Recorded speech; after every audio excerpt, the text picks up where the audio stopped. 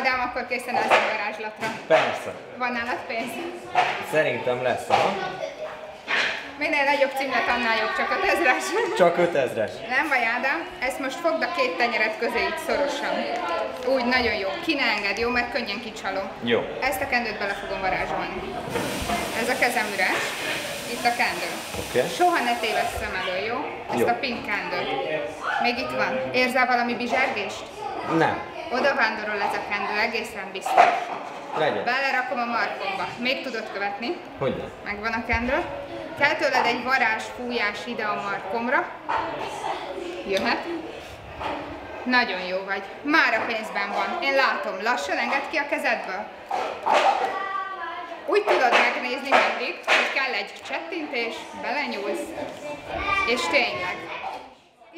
Így kápráztatott el Balog Anna előadó művész, aki egyben ennek a kis létszámú tábornak az egyik szervezője. A varázslatra kíváncsi gyerkőcöknek alakítottak ki egy bűvésztábor Győrben, és mint ahogy az a képeken is látszik, értékes tudást és komoly technikát sajátíthatnak el a fiatalok a rutinos bűvészektől. Hirtelen az első.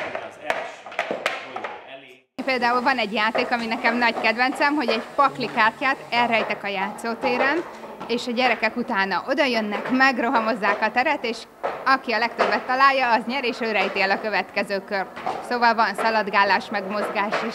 Rátesszük a középsőre, ugyanúgy kettővel.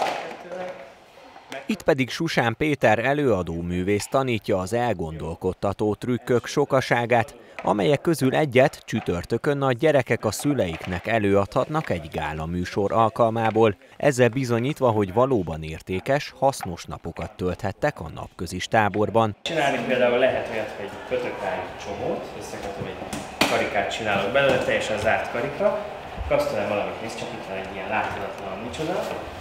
Bármi. Olló, nagyon jól látsz, olló. Akkor vágd el az ollóval itt a köteltük közepén. Jó?